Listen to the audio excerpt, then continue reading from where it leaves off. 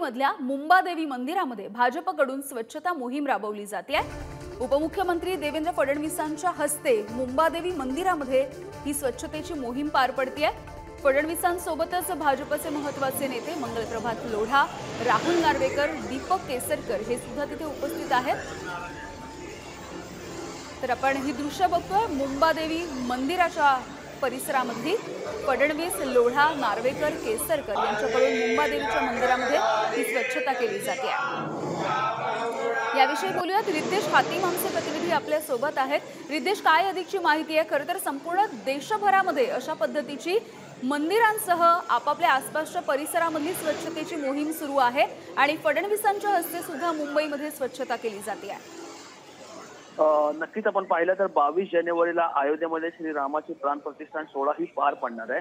त्या सोहळ्याच्या अनुषंगाने नुकताच आपण पाहिलं तर पंतप्रधान नरेंद्र मोदी यांचा नाशिकमध्ये दौरा झाला आणि त्या दौऱ्यादरम्यान त्यांनी काळाराम मंदिरामध्ये स्वच्छता मोहीम ही राबवली होती. आणि प्राण प्रतिष्ठान सोहळ्याच्या अनुषंगाने राज्यातील सर्व मंदिरांमध्ये ही स्वच्छता मोहीम राबवावी असा निर्देश देखील पंतप्रधान नरेंद्र मोदी यांनी दिला. आणि त्या. अनुषंगाने आज मुंबईतील मुंबादेवी मंदिरामध्ये ही स्वच्छता मोहीम ही राबवली जाते. स्वतः उपमुख्यमंत्री देवेंद्र फडणवीस असतील मंत्री दीप- मंगलप्रभात लोढा असतील त्याचबरोबर दीपक केसरकर असतील विधानसभा अध्यक्ष राहुल नार्वेकर असतील सर्वे सर्व या या स्वच्छते मोहिमेमध्ये सामील झाले आहेत. आणि आता सर्वात पद्धतीने त्यांनी मंदिरामध्ये दाखल झाल्यानंतर संपूर्ण जो मंदिराचा परिसर आहे तो स्वच्छ केला. त्यानंतर मंदिरामध्ये मुंबा देवी मंदिरामध्ये मुंबादेवी त्याची आरती देखील केली. आणि हे त्यांची ही संपूर्ण जो मोहीम राबवल्यानंतर ते माध्यमांशी बातचीत देखील करण्यात पण मात्र महत्वाचं दुसरीकडे पाहिलं तर मोठ्या संख्येने मुंबादेवीचं दर्शन करण्याकरता भाविक रोज सकाळी या मंदिरात येतात. आणि या मंदिरामध्ये आता उपमुख्यमंत्री असल्यामुळे सिक्युरिटी मध्ये कुठलाही प्रॉब्लेम त्या अनुषंगाने मात्र जे सगळे भाविक आहेत त्यांना बाहेर थांबवण्यात आले आणि आता भाविकांच्या मोठ्या रांगाच्या रांगा देखील लागल्या.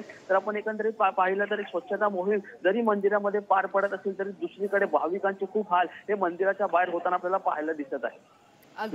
धन्यवाद रिद्देश या सगळ्या अपडेटसाठी तर आपण बघतोय एकीकडे भाजपकडून स्वच्छतेचं महत्त्व आणि ही स्वच्छता मोहीम खरं तर राबवली जात असताना दुसरीकडे भाविकांना मात्र ताटकळत उभं राहावं लागलेलं आहे.